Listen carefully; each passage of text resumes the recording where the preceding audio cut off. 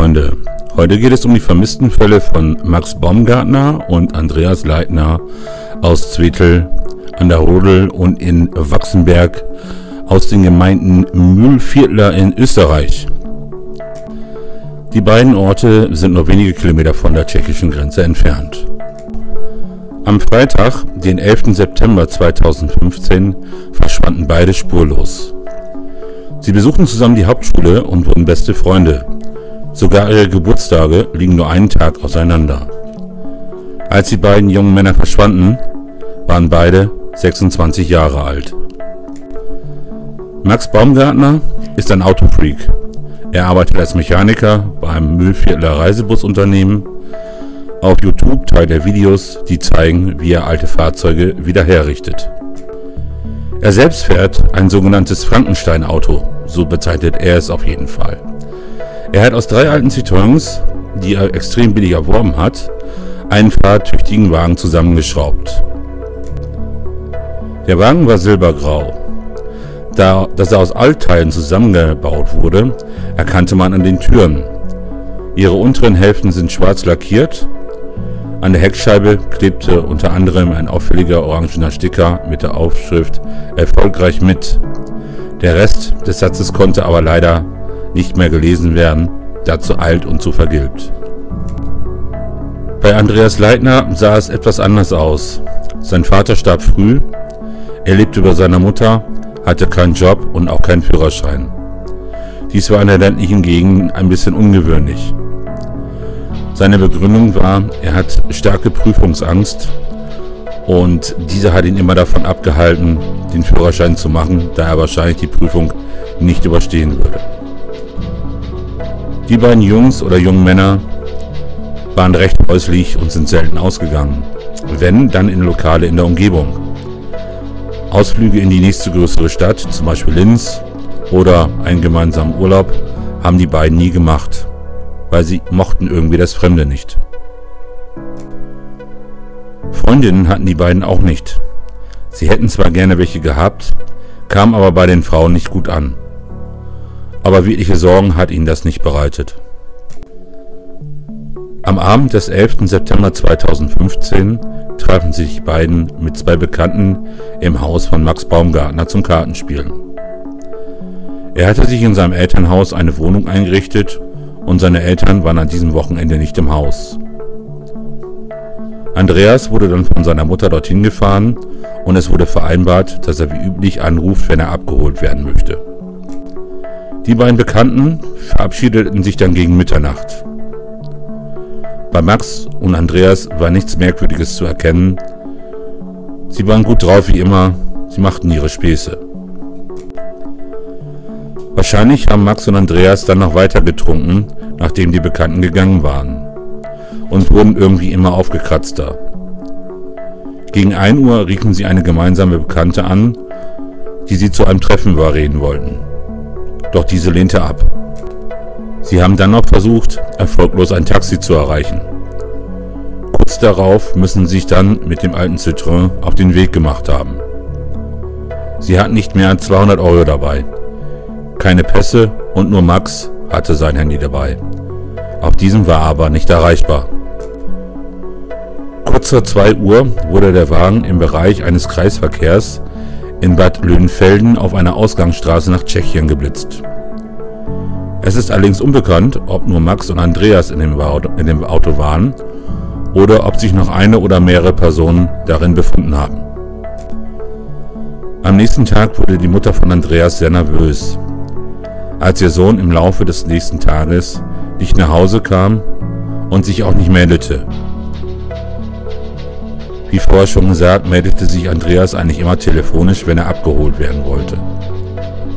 Denn eigentlich legte er immer sehr großen Wert darauf, zum Mittagessen wieder zu Hause zu sein.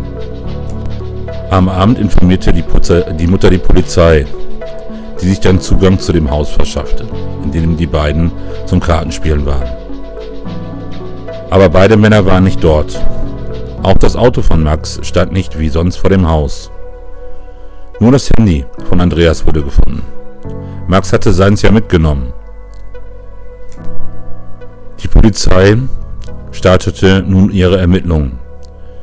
Sie konzentrierten sich auf die Grenzgegend und das Nachbarland Tschechien. Man ging davon aus, dass die beiden im Nachbarland Tschechien noch ausgehen wollten. Es gab Suchaktionen in den Wäldern, zuletzt auf der anderen Seite der Grenze, also in Tschechien. Auf der deutschen Seite war bisher nichts gefunden worden, trotz massiver Suchmaßnahmen.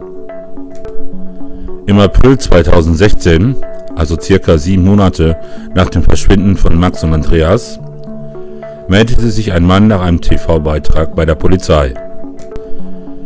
Der Zeuge gab an, am fraglichen Abend den Wagen von Max gesehen zu haben, und zwar im grenznahen Ort Wisi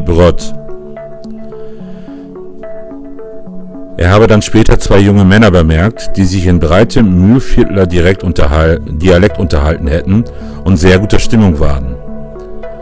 Ob es sich dann tatsächlich um die beiden Vermissten handelt, konnte aber nicht mit absoluter Sicherheit gesagt werden.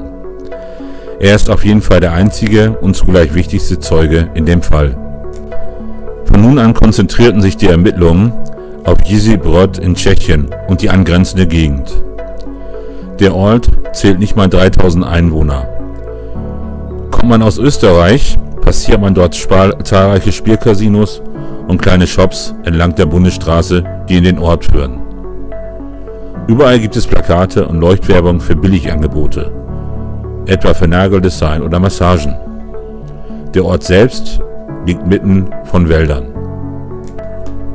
Es stellt sich jetzt die Frage, was könnte mit den beiden passiert sein? Selbstmord, das wird ausgeschlossen, da es dafür keine Hinweise gibt. Ein geplantes Verschwinden von den beiden? Auch das wird ausgeschlossen, auch dafür gibt es keine Anhaltspunkte. Es bleiben also die beiden Varianten Unfall oder Verbrechen. Erst einmal zum Unfall. Die Straße, die von Bad Leonfelden nach Bröd führt, ist kurvig, führt durch viele Waldstücke und ist schlecht ausgeleuchtet. Sobald man die tschechische Grenze passiert, lässt die Qualität der Straße schlagartig nach. Immer wieder gibt es Schlaglöcher. Hatten Max und Andreas hier vielleicht einen Unfall, der bisher unbemerkt blieb? Liegt ihr Wagen vielleicht in einem der zahlreichen Gewässer in der Gegend verborgen?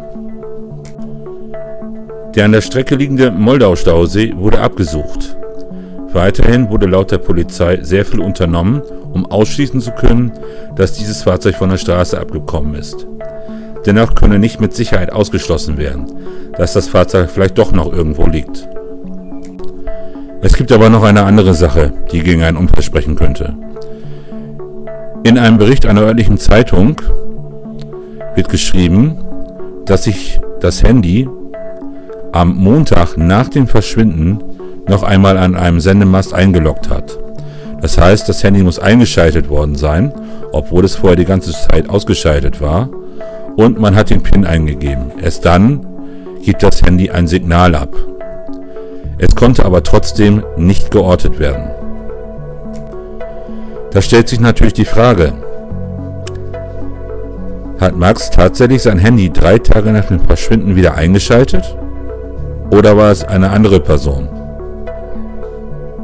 Und wenn ja, warum so nahe an seinem Zuhause? Dazu hat ein Telekommunikationsexperte eine entsprechende Idee, wie das zustande kommen könnte. Zumindest, warum es sich so nahe zu Hause eingeloggt hat.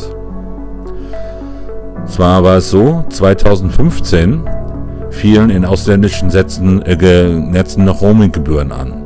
Daher kann es sein, dass sich das Handy dann bevorzugt versucht hat, in einen Ort oder in einen Mast im österreichischen Netz einzuloggen. Fraglich ist aber immer noch, wer hat dieses Handy aktiviert, wer hat die PIN eingegeben. Könnte den beiden tatsächlich in Visibröd etwas passiert sein? Was ist das für eine Stadt? Einheimische bezeichnen sie als Klein Vietnam, und zwar scherzhaft. Da sich alle, nahezu alle Geschäfte, Nachtlokale und Marktstände entlang der B161 in asiatischem Besitz befinden. Es ist auch bekannt, dass man in diesen Shops an verschiedene Drogen bekommt, wenn man so etwas haben möchte. Viele Einheimische glauben, Max und Andreas haben sich in Tschechien auf, eine, auf die eine oder andere Art mit der Vietnamesen-Mafia angelegt und eine offene Rechnung nicht zahlen können und sind deswegen zusammen mit ihrem Auto beseitigt worden. Die Einheimischen sagen auch, die Verbrecherbanden in dem Ort sind nicht gerade zimperlich. Wenn einer konsumiert hat und nicht zahlen konnte, ist es schon vorgekommen, dass der mit einer halben Ohrwaschel wieder heimgekommen ist. Das heißt, man hat ihm das halbe Ohr abgeschnitten. Im Jahr 2016, also ein Jahr nach dem Verschwinden von den beiden, gibt es noch einen weiteren tragischen Punkt. Ende Oktober 2016 hatten die Eltern von Max Baumgartner zusammen einen schweren Unfall, als Herr Baumgartner bei einem Überholmanöver in den Gegenverkehr geriet. Herr Baumgartner starb dabei und Frau Baumgartner erlitt schwerste Verletzungen. Also, was ist mit den beiden passiert? Wenn man sich das so anschaut, erinnert das irgendwie so ein bisschen an den Fall von Patrick Stopp. Das ist auch ein Fall, den ich hier dokumentiert habe. Ich glaube, das war der erste, den ich ähm, gepostet habe. Beide, oder in dem Fall zwei und äh, Patrick als dritte Person, sind in einem osteuropäischen Land und verschwinden dort erst einmal spurlos. Patrick wurde dann tot aufgefunden. Auch bei ihm war sein Fahrzeug, also sein Motorrad, erst einmal verschwunden und tauchte erst dann wieder auf, als es in einen Unfall, verwickelt war. So, meine Freunde, was glaubt denn ihr, was mit den beiden passiert ist? Ist ihnen ein Verbrechen zugestoßen oder hatten sie einen Unfall auf dem Weg dahin? Weil man muss ja bedenken, wenn sie tatsächlich gefahren sind, müssen sie ziemlich angetrunken sein, gewesen sein. Und da ist ein Unfall auf schlechten Straßen nicht gerade selten. Ich bin mal gespannt, was ihr so denkt. Schreibt es mir einfach in die Kommentare. Dann sage ich jetzt erstmal für heute wieder Tschüss. Danke euch fürs Zusehen oder Zuhören. Bleibt gesund, passt auf euch auf und wir sehen und hören uns auf jeden Fall spätestens am nächsten Wochenende wieder. Bis dann erstmal und tschüss.